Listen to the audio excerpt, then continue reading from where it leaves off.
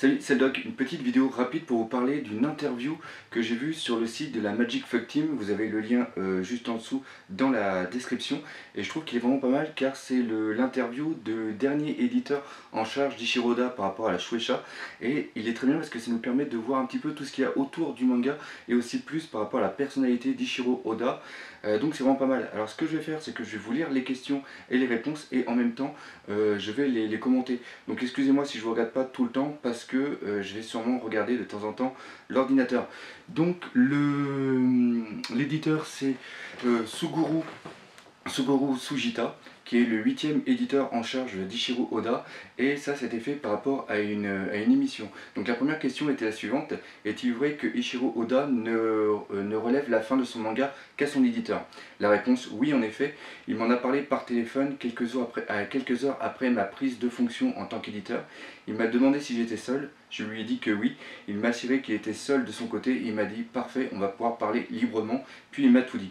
Donc là c'est vraiment excellent, on montre que euh, Ichiro Oda a déjà la fin de son manga bien euh, en tête et que c'est lui qui va pouvoir faire ce qu'il veut avec la fin, contrairement à ce qui s'est passé par exemple pour Naruto, où c'était plus l'éditeur qui était... Euh, qui, lui disait ce qu'il doit faire. De toute façon, ça, on va le voir, il va en parler plus euh, dans des, les prochaines questions. Et ça, ça reprend aussi euh, le fait que Ichiro Oda avait vraiment tout en tête bien avant de commencer son manga, même deux ans avant, euh, c'est-à-dire en 1995, il avait déjà tout mis sur papier, c'est un mec qui pense énormément, et en plus il y a une petite légende urbaine que je trouve vraiment sympa, et si elle est vraie, c'est vraiment fantastique, c'est-à-dire qu'il y avait un enfant qui, était, qui avait une maladie incurable et qui allait mourir, et il faisait partie d'un truc, souvent c'est ce qui se passe, c'est que une sorte de rêve qu'ils peuvent avoir, et il y a des gens qui sont là pour le réaliser, et lui, son rêve, c'était de connaître la fin euh, de One Piece. Donc Ishiroda s'est déplacé jusqu'à l'hôpital, il a vu l'enfant et il lui a raconté la fin de One Piece.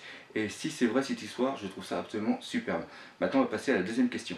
Euh, avec cette deuxième question, on va justement euh, parler d'un truc très important, c'est la durée qui reste par rapport à One Piece. Alors la question c'était la suivante, pourriez-vous nous dire combien de temps il reste approximativement avant la fin de l'histoire? Réponse, il m'a dit que la première, euh, la première partie de l'histoire, donc celle qui va jusqu'à l'ellipse des deux ans, entre parenthèses, soit 60 tomes environ, se situait à environ 50% de l'œuvre. Je pense donc qu'il doit être actuellement à 70 environ, mais en tout cas, je ne pense pas qu'on ait atteint les 80%.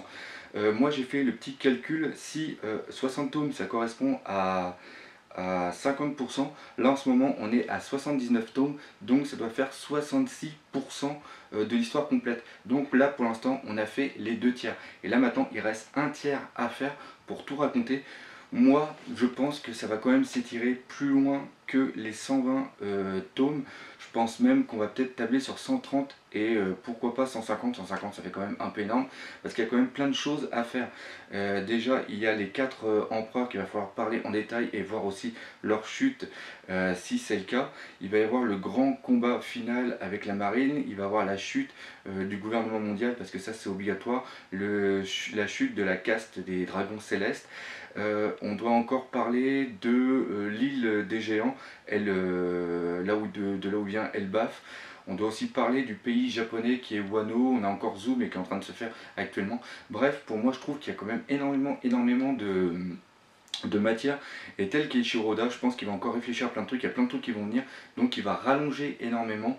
Et je pense qu'on peut tabler facile pour les 130 tomes. La troisième question, est-ce vrai qu'après One Piece, il ne souhaite pas s'investir dans une nouvelle saga, dans une nouvelle longue saga? Réponse, il n'a pris aucune décision pour le moment, mais il a simplement dit qu'il pense ne pas en être capable. Euh, cela fait déjà 18 ans qu'il travaille sur One Piece, on peut se demander donc euh, à quel âge il aura quand ça sera terminé. Je pense que la véritable question c'est d'un point de vue pragmatique, pragmatique, excusez-moi, pourra-t-il encore se consacrer à une autre très longue série quand celle-ci sera terminée euh, Personnellement, je ne pense pas qu'il fasse d'autres séries. Comme on a dit, là on est arrivé au, euh, on aux deux tiers, donc 18 ans, ça fait 9 ans. Donc il reste encore 9, 10 ans facile. Là il a 40 ans, quand il va terminer, il va avoir 50 ans, 50, 50, 50, 51 ans ce qui fait énorme pour pouvoir se relancer dans une autre saga qui va faire euh, presque 30 ans. Euh, c'est absolument possible. Par contre, le connaissant, je pense qu'il va faire plein, plein, plein de, petits trucs à côté. Par contre, une fois que One Piece soit terminé, je pense pas qu'il fasse plein euh, de, petites, histoires d'une dizaine ou d'une vingtaine de chapitres par rapport à d'autres choses. Je pense que Shirunda, une fois qu'il avoir terminé One Piece, il aura fini avec One Piece et la gueule nous fera peut-être quelque chose après. Quatrième question. Euh, en tant qu'éditeur de One Piece, quelles sont les règles auxquelles vous êtes soumis? Ça, c'est vraiment très important parce que ça va reprendre ce que j'ai dit tout à l'heure dans le fait que c'est vraiment Ishiroda qui fait ce qu'il veut de son œuvre. La réponse. Il ne souhaite pas qu'on lui propose d'idées dans la mesure où il a du mal à dessiner ce qui ne vient pas de lui. Euh, parce que c'est son histoire et qu'il veut pouvoir dessiner ses propres idées. Par ailleurs, il veut qu'on soit d'un pied d'égalité avec son éditeur, donc il ne veut pas que je l'appelle, il ne veut pas être appelé Oda Sensei, mais simplement Oda-san. On fera l'explication après, mais de son côté, de son côté il s'adresse à moi en tant que euh, Sujita-san, et ce malgré mon jeune âge qui est 26 ans et le fait que je sois nouveau dans le métier. Il me met également, euh, il me demande également de toujours donner mon opinion sincère. Euh, après, il est dit que sensei, c'est un titre honorifique par rapport à, une personne qui monte une certaine hiérarchie professionnelle. Euh, par contre, euh, le suffixe san, donc ce qui est mis après, est un suffixe de politesse japonais qui marque notamment le respect dû à la personne à laquelle on s'adresse. donc là, vraiment, on revient sur un point vraiment, vraiment essentiel. Ishiro Oda a tellement de succès avec son anime, on le voit euh, quand on a les, résultats par rapport au Weekly Jump Shonen toutes les semaines, il est toujours dans les trois premiers, donc il peut vraiment faire ce qu'il veut de son, de car pour moi c'est sûr et certain, euh, le fait qu'il y ait One Piece dans le Weekly Jump Shonen, ça permet au Weekly Jump Shonen de toujours se vendre à plusieurs millions d'exemplaires, et ça c'est super important. Donc contrairement à ce qui s'est passé par exemple pour, euh, pour Bleach ou par rapport à Naruto, eux, les mangaka, ils ont été obligés de, suivre les idées de leur éditeur, ils ont été obligés de changer euh, leur, vision euh, de leur œuvre, et ça, je trouve ça totalement euh, dommage, et ça a été surtout désastreux pour Naruto. Maintenant, on va passer à la cinquième question. Qu'est-ce qui fait, selon vous, Kishiroda un artiste exceptionnel? La réponse, je dirais en premier lieu son talent naturel. Mais ce qui m'a surtout impressionné chez lui, c'est son degré d'investissement et tout ce qu'il donne à la série. Il se peut qu'un jour, je sois amené à travailler avec un mangaka plus, euh, talentueux euh, qu'Oda-san mais je doute qu'il y ait un seul mangaka qui, investisse autant d'efforts que lui. Il dort environ seulement que 2 à 3 heures par nuit, ça c'est un truc complètement dingue, et toutes ses pensées tournent autour de son œuvre, c'est-à-dire One Piece. Il est absolument intransigeant. S'il estime qu'un élément n'est pas suffisamment drôle ou risque de ne pas surprendre le lecteur, il va tout bonnement laisser tomber et réfléchir à autre chose, ce que je trouve absolument impressionnant. Il est vraiment ce que j'appelle le fleuron en matière d'écriture euh, de manga. Là, on arrive vraiment sur un point que j'avais déjà entendu parler et que j'avais du mal à, pouvoir euh, comprendre et surtout assimiler déjà le fait qu'il ait que 2-3 heures de sommeil par nuit et qu'il soit toujours en santé. Ça, pour moi c'est un truc de dingue. Moi il me faut au moins 5-6 heures de nuit et encore euh, quand j'atteins les 8 heures je suis vachement content mais en ce moment avec le site c'est absolument impossible. Et tout est vraiment axé sur One Piece, c'est-à-dire qu'il mange One Piece, il bouge, il bouge One Piece, il dort un tout petit peu One Piece, il vit One Piece, quand il chie, il chie One Piece, ça doit être un truc absolument de dingue.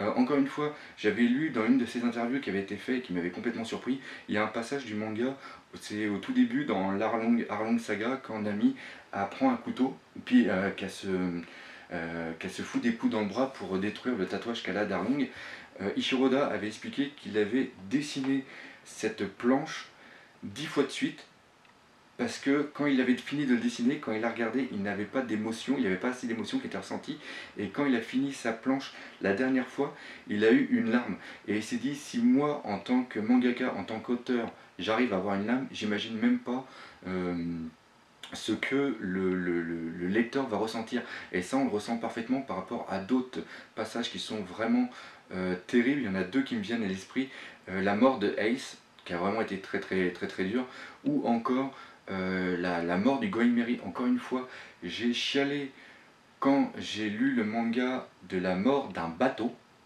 C'est un bateau, c'est un bateau qui crève, c'est un truc en bois, le truc qui crame, et j'ai eu des larmes et j'ai eu des frissons. J'ai des frissons rien qu'à y repenser d'ailleurs, et c'est ça qui est vraiment génial avec lui, c'est qu'il met une telle volonté à passer ses émotions dans euh, le manga, que certes, d'un côté, on est super surpris et on adore, mais d'un autre côté, euh, des fois, ça traîne un petit peu en longueur, je peux l'avouer. Sixième question, et là on va parler d'un truc de dingue, un truc qu'on parle pas beaucoup en France, c'est-à-dire du salaire. Euh, j'ai ouï dire que ses revenus annuels sont supérieurs à 3 milliards de yens. Il y a 9 zéros, j'ai compté. 9 zéros, c'est 3 milliards de yens, soit supérieur à 22 millions 230 000 euros. C'est un truc de malade. que fait-il donc de toute cette fortune? Alors l'autre il répond, il fait Euh, euh, c'est marqué, hein, c'est marqué HM. Ces derniers temps, il est devenu accro au barbecue, donc j'imagine même pas avec 22 millions le nombre de barbecues qu'il peut acheter.